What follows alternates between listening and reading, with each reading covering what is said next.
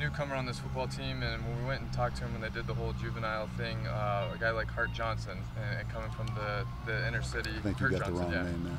Delane. Delane Hart. Yeah. Um, Is that who you? Yeah. First of all, Delane you know, if we're Hart gonna Jr., yeah. not t- take that out. Uh, it's an on. If we're gonna ask a question, let's have it organized. That- That's disrespectful to the kid, and that's disrespectful to me. We don't have a kid on the, on the team by the name of that name you just asked me. Hart Johnson. Hart Johnson. Delane. Do you know Hart Johnson? Um, so re- research and then come ask me next time. Okay. Okay. You understand where I'm coming from? No, I I, mean, understand. I don't know Hart Johnson.